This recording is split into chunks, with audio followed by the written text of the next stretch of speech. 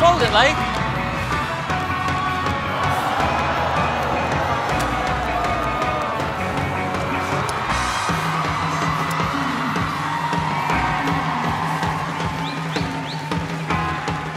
Alright, I have a razor blade.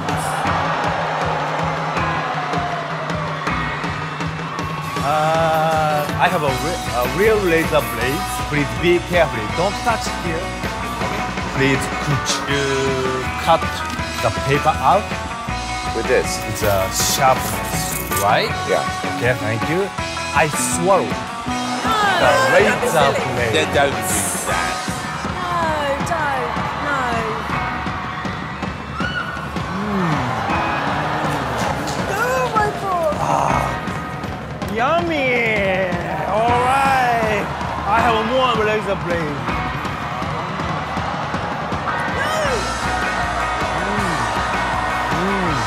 Uh, would you like some? No, okay. Please don't copy me.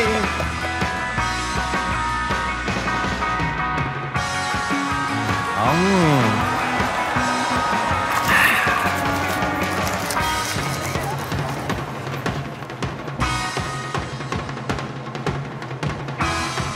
I will eat all of them.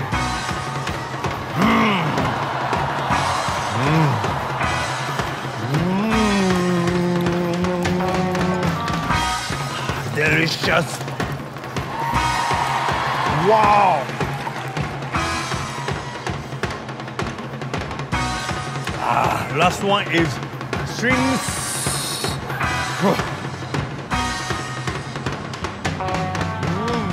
Keep eating things? He'll never eat his dinner after this.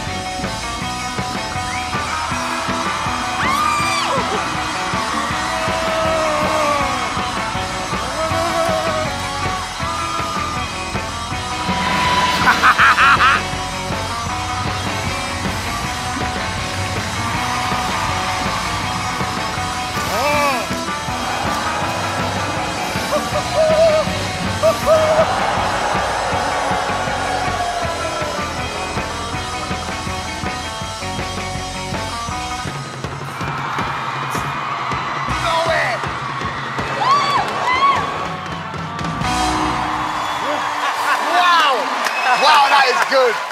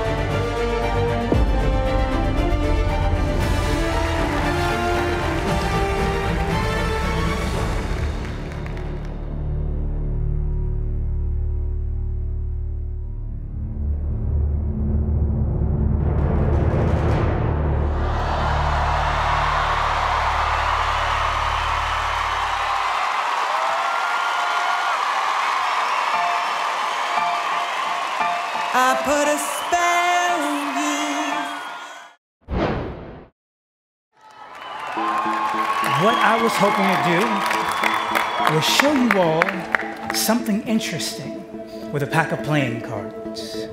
Uh, I'm just gonna, let's say we use this one. I've got a Sharpie in my pocket. Just uh, sign your name right on the face of the card. All right. Thank you. We've got the face of the card with Chris's signature on it. But I'm going to change the back. If you watch, it happens on the count of three. That's one. That's two. That's Come on. Please take a look at it. Make sure it is exactly what it seems to be. That's my damn card. Now, I do have a bone to pick with you, sir. No, you do. You did say that my routine wasn't nearly as dynamic. And the truth of the matter is, I've kind of taken it to heart. And in fact, I brought a special magic wand here just for you, sir. This is always going to happen one day. Oh my god. What I want you guys to do is keep your eyes on the card, but also keep your eyes on the hammer as the card completely vanishes. But for your safety, I want you to move down to the other side of the table. you want me to go to the other side? Yeah, would you guys just mind just sliding down just a little bit? Sure. Because this is going to be interesting. We Because will. when the card vanishes, people always ask, where in the world could it be? Here on the table, if you don't mind, sir. Go ahead and examine it, open it up, and tell me, is that your signature? This is my card! That's my signature, it's my crappy signature. I take it back. I take it back. that was good. He's so talented, like so I mean, what he did, I have no idea how he did it. Andrew and I are so in tune with each other, even though we went shopping separately for today's audition, we both ended up buying the same camouflage t-shirts. Let's show you what we do. Amanda, I take you have your phone on you. Yes, I do actually. Uh, if you stand here for me. Amanda, I'd like you to scroll through your contact list and stop on somebody at random. Okay. Look at this person's last three digits of their phone number. Yeah. Once you've got that in your mind, lock the phone and put your phone on the desk. Just say this person's name over and over again in your mind. I really hope we get this. And even though you picked this person, you had a free choice. Is that right? Andrew? Amanda, in a loud, clear voice, what are the three numbers you're thinking of? 415. 415? That's exactly what I've got. Thank you. Of course, Amanda, this is a contact in your phone.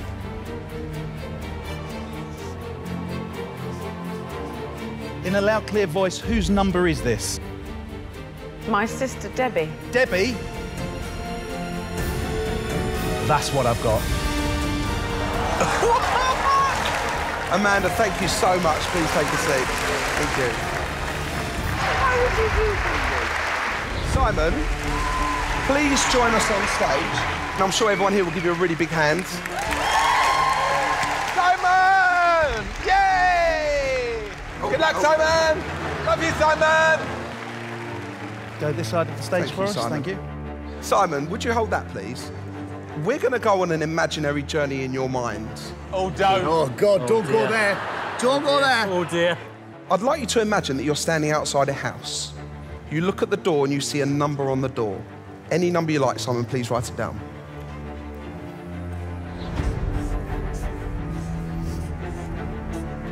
Just try to say that number over and over again in your mind. You now go into this imaginary house and you go into a living room. You look at the wall of the living room and you see a colour painted on the walls. Please write it down. Just imagine that colour all around us now. You're focused on it, right? And even though you picked that colour, you could have had anyone. You now go into the kitchen. You look over at the wall and you see a celebrity calendar. It could be anyone you like, Simon.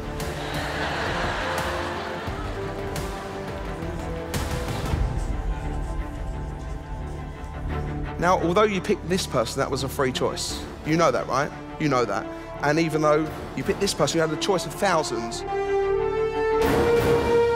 Andrew?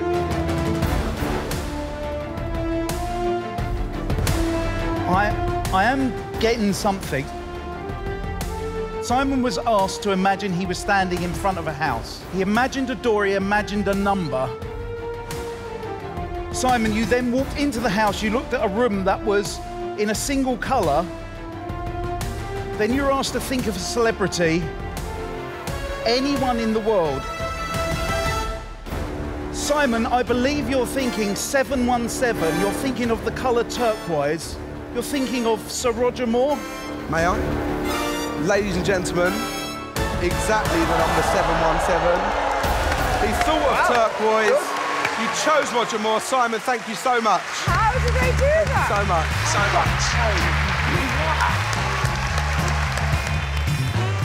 much. Many of you may be wondering how we read minds. What you should be wondering is how we started off this performance wearing camouflage t shirts and ended up wearing black. We are DNA. Thank you.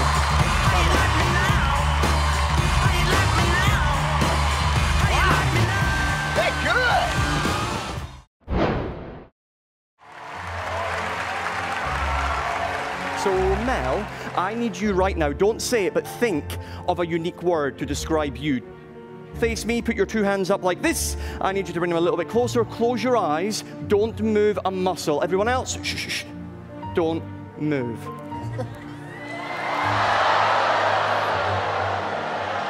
Mel, you can open up your eyes. You can put your hands back down. This. Did you just lick my hand? You did. This wipe you? is for you, but I'd be right in saying, just from the taste alone, recently, have you been eating eggs and the, the potato chips as well? Am I right? Yes. Yes. Okay, Harry, put your hand. No, I'm j- no, no. I wouldn't dare. I wouldn't dare. Don't touch Harry's hip. Harry, this is my iPhone. You are going to have to deduce the six digits that unlock it here. So press right now any six digits on there and tell us yes or no, did it open? Did it open?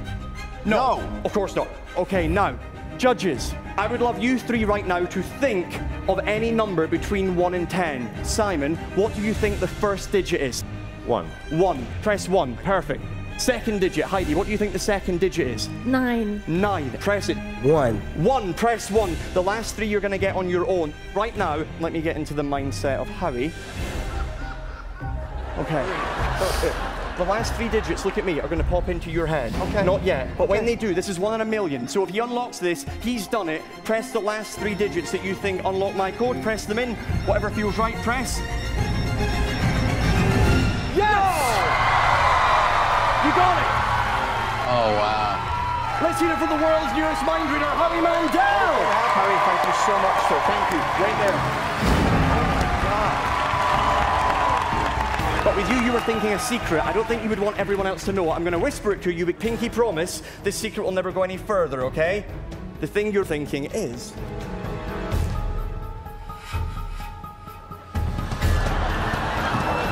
Mel, is that true? Yes. Oh. Yeah? And I didn't just whisper act surprise, play along. That's that's genuine, yes? Oh my god. And there's no way I could have found that on Twitter, no social way. media, anywhere. Good. There's no way. We'll keep that between us. We'll leave them wondering, but look right at me, Mel. Look at me. You thought of a word. Before you came out here, I gave out some letters to people in the audience. I don't want you to see them, so keep looking at me. Can I ask the guys over here who have the cards, stand up right now before Mel says her word, so that everyone knows this can't be changed? Would you all turn around your letters so that everyone else, no one say it, but I think this sums you up perfectly. Now, this is a free choice. You could have thought of tens of thousands of words. So tell us, what word are you thinking of to describe yourself right now? Well, for a start, I think every woman is this, but I think of myself as a goddess. Have a look.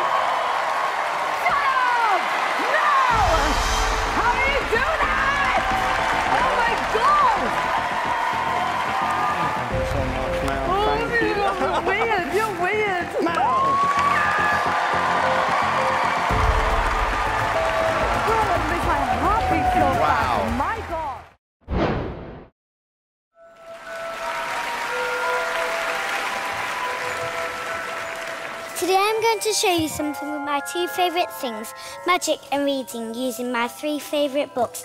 My first favourite author is Colin Davis, Mathemagical. Amanda, could you look through the book and see if each page is different? Yes, darling. My second favourite author is Enid Blyton and the Magical Faraway Tree. Alicia, could you look through the book and see if each page is different? Okay. My third favourite author is David Walliams, The Midnight Gang. David, could you look through the book and see if each page is different? It different? would be a pleasure. Whilst you're doing that, Simon, could you pick up my box and put it on the floor for me, please? Where? Over there. She's very bossy. Down here? Yeah. I can't lift it. David, do you want to go and help I him? literally can't lift it. We're trying together. Come on. To me, to you. To me, to you. It won't lift. Oh, wait one minute. Could you sit back down for me, please? Right, go and sit down. Go and sit down. No, you as well. Do as you're told. Right, I'm back.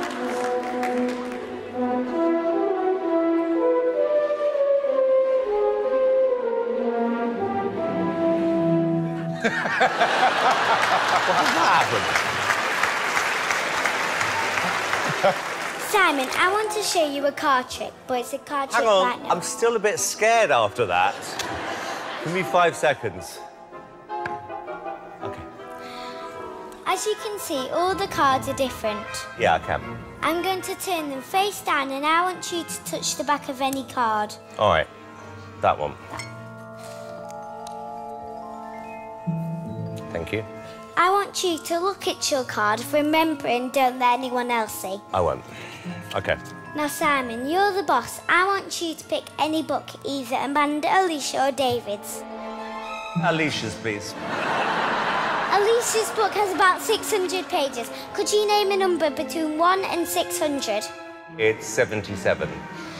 Alicia, could you turn your book to page 77 for me, please? And check if all the words are different. Yes, all the words are different. Now, could you pick any word and tell us what it is? Kettle. Kettle. Remember, Simon, you could have picked any book, and Alicia, you could have chosen any word, but you chose kettle. Yes. See this blackboard? Before the show tonight, I wrote a word on the board. Watch. No way.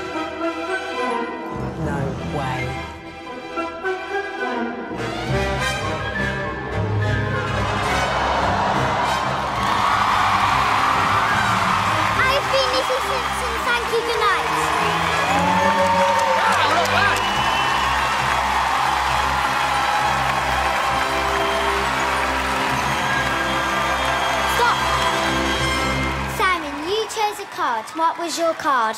It's the four of diamonds.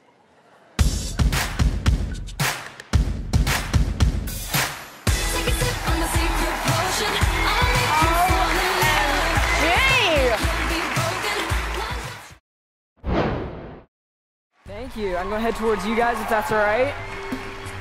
Hello, Henry. Hello, how are you? Nice to see you. Now, I love messing around with my cards in school and showing my friends magic tricks during class, so I found some ways to hide my cards in school so my teachers don't get angry at me. So the first way I hide my cards is smuggling them into school inside my lunch bag, along with a snack for later, and that way I can now show some tricks to my friends. So Heidi, will you be my friend? Yes, I'd love Do me to. a favor and take any card you like. Go ahead and sign it. Perfect. I'll take that. Uh, so Seal, do me a favor, man. Hold out one of your hands. I'll give you the deck, and you put your other hand on top. So that way, there's no way I can manipulate the cards. Yeah, right on top. Now, would it be impressive, Mel, if I could pull Heidi's card from the deck with just one hand? Would that be impressive? Yeah. All right, here we go. You're right. That would have been really impressive. That would that would have been really, really good. Uh, but sadly, no, I got the king of diamonds, not even close. Tell you what, I'll make it up to you. I'll show you my second way I hide cards in school. It's making every single card inside of your hands turn completely invisible. Check it out. That's Oh every gosh! single card in the entire deck completely clear. And my teachers don't notice a thing. Wow. But as cool That as is that is, crazy. I never found your card. Instead, I thought it was the king of diamonds. But you look a little closer. Printed onto the card, the king seems to be holding on to the snack I brought here earlier today. No. Howie, I won't touch it. You pick up that snack. No. Make sure there's no cuts, slits, or tears anywhere on that, yeah? No, it's- It's it's a not sealed- inside Tear of that that. thing open. Okay. Break that in half. No. Oh my gosh. There's a card. Folded in half is one card. Ladies and gentlemen, it is Heidi's signed card. Amazing. Thank you. Wow.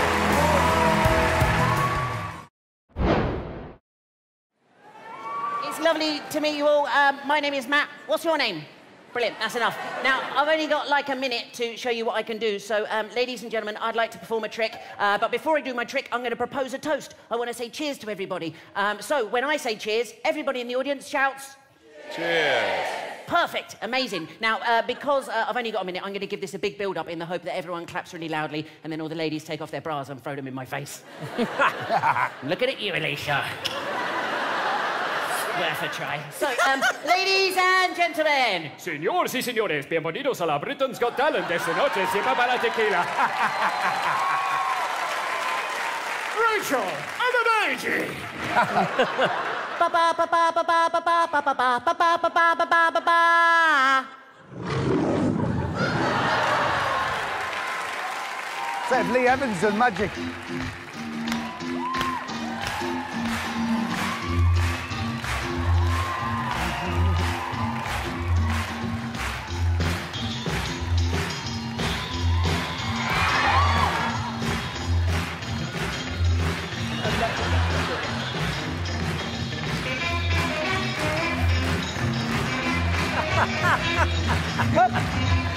I like him. I do. Yeah. What's this? Might as well.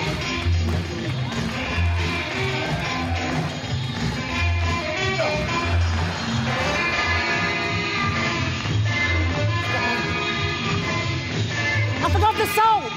Gotta have salt. Oh. Tequila. The salt.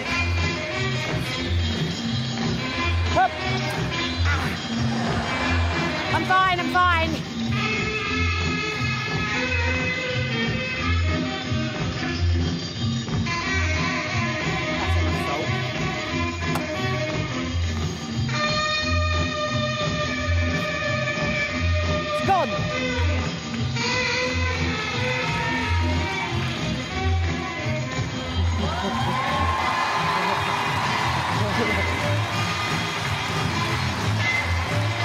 Sorry.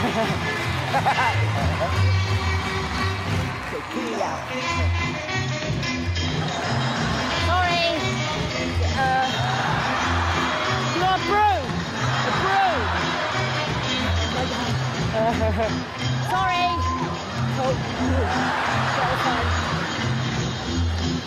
Sorry. Sorry.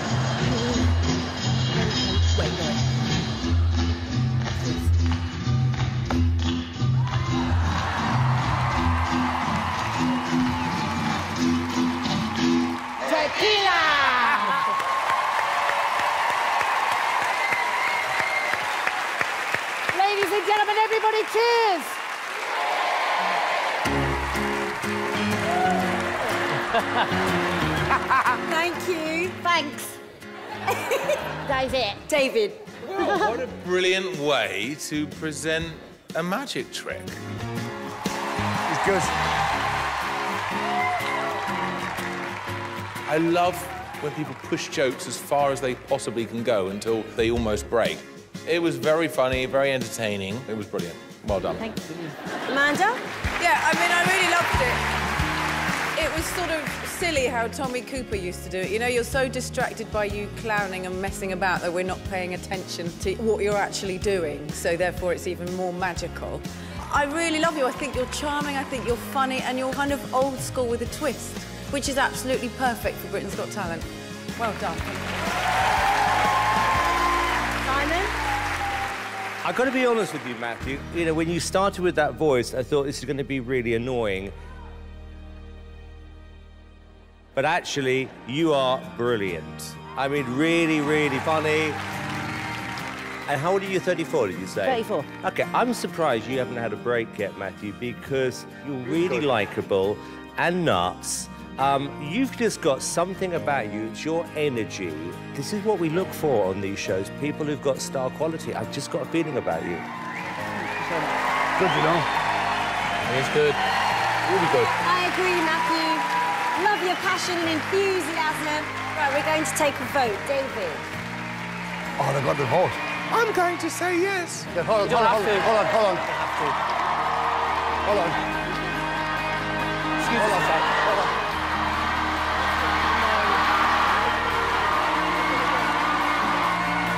We're gonna do it.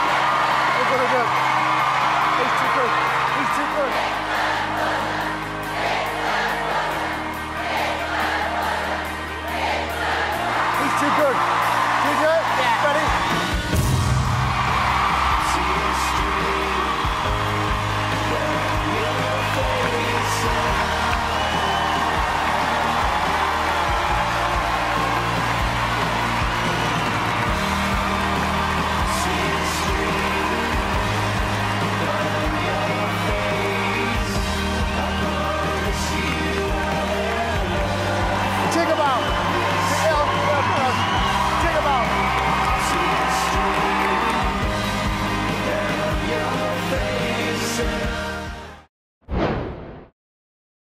Growing up, my very first pet was a fish. His name was Joey, and he was my best friend. I always wondered what it would be like to bring Joey back using magic.